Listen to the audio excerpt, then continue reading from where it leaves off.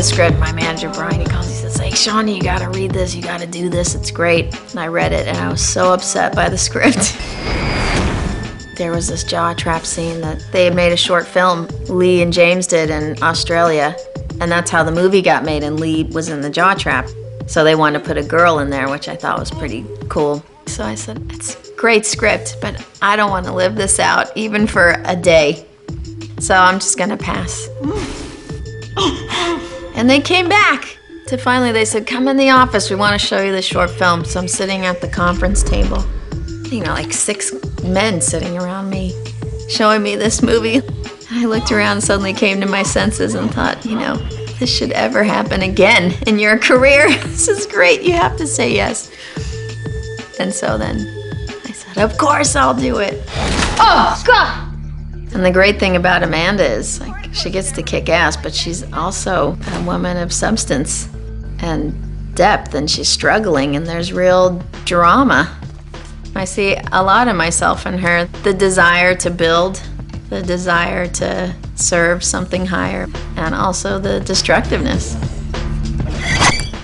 She was lost shooting heroin, but there was something in her that was still strong enough to fight.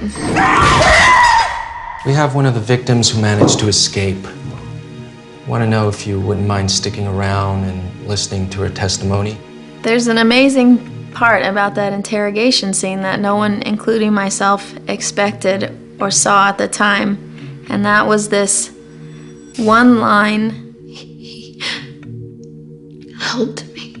And Saw 2 and Saw 3, kind of in a way, all came out of whatever substance there was in that one line, that one day. Calm down. What's your name?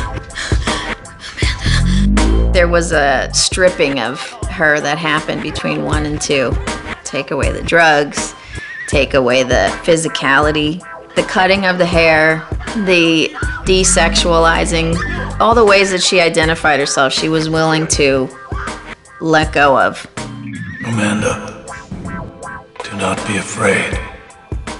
Your life has just begun. There was kind of like a, a commando monk like training. She devotes herself to her work and to this philosophy and completely gives herself over to it. In part three, you can see the substance of what she's been building. Amanda, it's time to start our game. It's a love story in that way with her and John. They both are dedicated to this higher principle, and she's struggling because 95% of her can build the house, and 5% tears it down. Think about building a house, right? How long it takes you to, to lay the foundation and then build it, and then one battering ram, one swing, you know, boom, it's gone.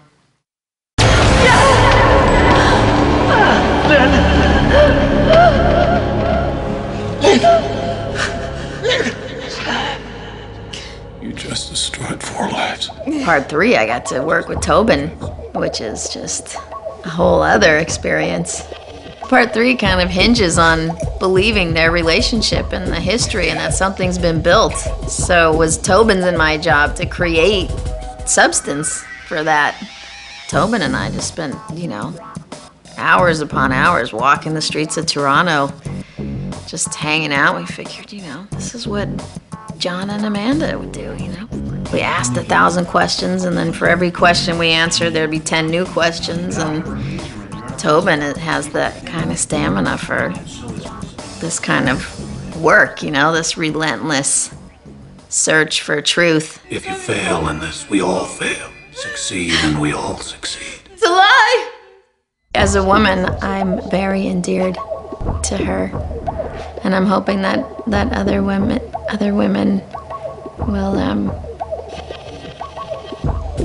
be endeared to her and hopefully we can all learn something or be inspired in some positive way.